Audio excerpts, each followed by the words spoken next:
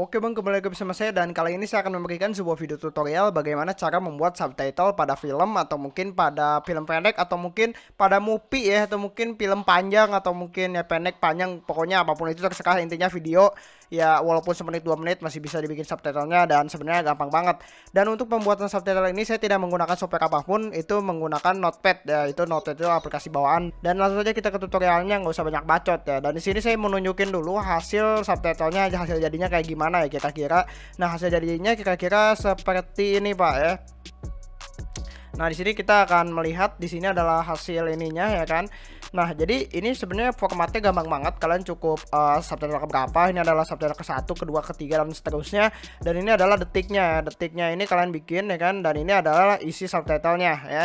Dan di sini kita akan langsung saja kita akan bikin ya. Di sini kita akan ke notepad saja new dan di sini kita akan ke teks dokumen dan kita langsung saja enter ya kan uh, kita akan enter saja langsung ya kan nggak usah dikasih nama karena nanti kita akan save as ya. Nah di sini kita akan ketik ya. Di sini kita akan ketik nomor subtitlenya. Di sini kita akan ketik nomor satu ya. Nomor satu kalian nggak usah pakai titik. Nah yang keduanya ini adalah detiknya ya. Jadi dari detik berapa sampai detik berapa. Nah, jadi kalau misalnya di sini contohnya saya menggunakan software Sony Vegas ya kan. Nah, di sini kalian bisa klik di sini misalnya ya kan. Di sini jadi misalnya ada yang ngomong dan ada subtitlenya gitu. Nah, nah pertanyaan kenapa saya menggunakan Vegas gitu untuk mengeditnya ini? Ke satu saya untuk lihat videonya dan kedua yang paling penting adalah untuk melihat detiknya. Kalian bisa melihat di sini ya. Ini detiknya adalah detik spesifik ya. Jadi nah jadi ini adalah jam, menit, detik dan ini adalah milidetik atau milisekon lah ya. Nah, di sini untuk bikin subtitle ini kalian harus bikin milisekonnya gitu ya. Nah, sini kita akan uh, lihat saja mungkin di sini kita akan ketik gitu ya misalnya 00 titik 2 00 titik 2 12,25 Nah, tapi untuk milisecondnya ini harus tiga digit, Pak. Jadi kalau misalnya kalian cuma dua digit itu nanti akan muncul. Nah, setelah itu kalian cukup spasi dan minus-minus lalu di uh, tanda apa tanda panah gitu ya kan. Tanda atau mungkin tanda lebih besar ya kan. Nah, ini sampai misalnya 00 uh, bagi 00 bagi 12 dan ininya atau mungkin di sini kita akan ganti ke 15, 250 mungkin ya. Jadi ini harus tiga digit. Nah, setelah itu kalian cukup isiin teksnya ya. misalnya kayak begini ya. Nah, contohnya kayak begitu dan untuk ngelanjutinnya cukup gampang banget kan cukup CTRL C ya kan. Dan sini kita akan enter sekali ya, enter sekali dan CTRL V lalu diganti dengan uh, nomornya ya kan. Dan kita akan ganti lagi misalnya kita akan sampai ketiga dan seterusnya gitu ya. Nah, kalau misalnya untuk uh, copy menitnya kalian cukup copy menitnya aja jadi jangan diketik ya. Kalau diketik itu kemungkinan terlalu lama jadi kalian cukup ganti aja si angka-angkanya. Jadi ini tinggal di copy misalnya di sini gitu ya. Misalnya uh, di subtitle keempat gitu ya, subtitle keempat misalnya. Nah, di sini kita misalnya yang ini itu dari 1520 gitu misalnya.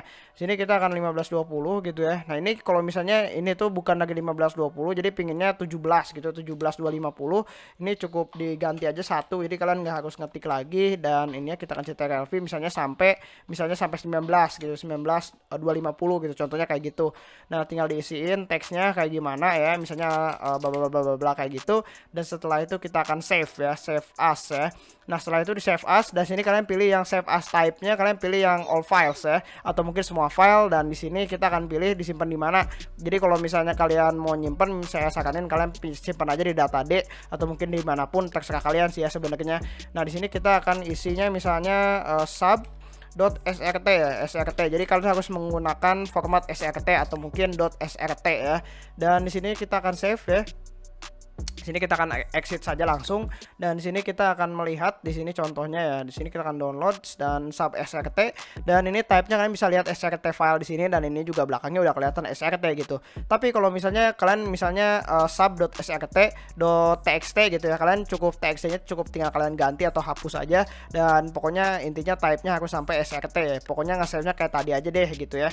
Contohnya kayak gini deh, saya tunjukin sekali lagi ya. Kita akan save as dan sini kita akan teks dokumennya ini kita ganti nanti ke all files dan sub srt dan kita akan save ya kita akan exit dan nanti akan muncul yang kayak gini. Nah kalau misalnya munculnya kayak gini sub.srt.txt atau mungkin namanya .srt.txt ini adalah formatnya adalah txt atau mungkin teks dokumen.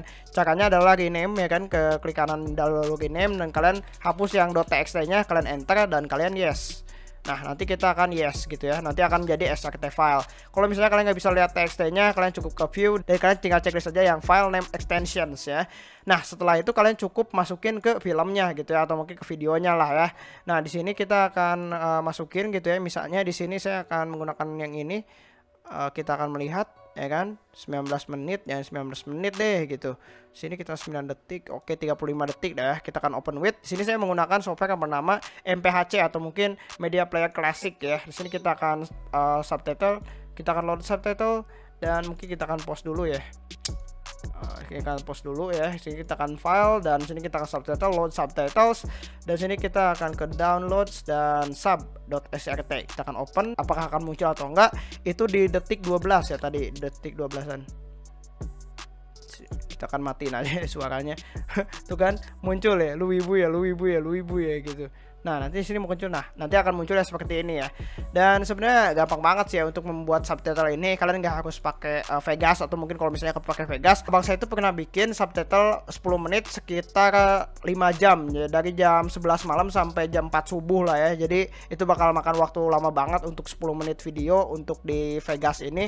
Jadi kalian bisa menggunakan software bawaan yaitu menggunakan Notepad ya dan gratis juga ya, nggak usah harus ribet-ribet dan caranya gampang banget udah saya tadi tunjukin juga kalau misalnya masih belum paham, silahkan ulangi video ini. Dan ya, jadi cukup segitu doang video tutorialnya. Jangan lupa untuk like, share, dan subscribe. Seperti biasa, nama saya Kaido Tukar Bekasiat, dan thanks for watching.